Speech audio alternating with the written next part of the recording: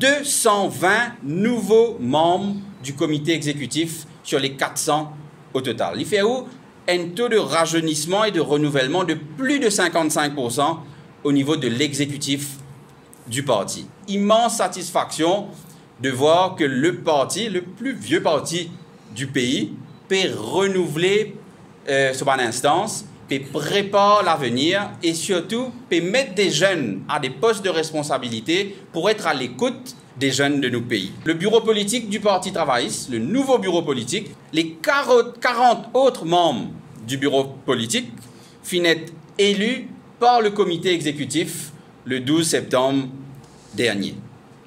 Et sur les 40 membres, membres du bureau politique, nous avons 15 membres expérimentés et 25 nouveaux membres de la nouvelle génération de politiciens et de politiciennes au sein du bureau politique du Parti travailliste.